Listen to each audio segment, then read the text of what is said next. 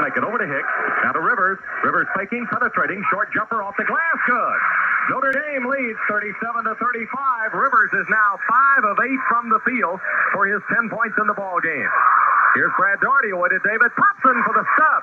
Got inside on Kempton, and Popson has his third field goal, and Daugherty did a good job of seeing him through traffic.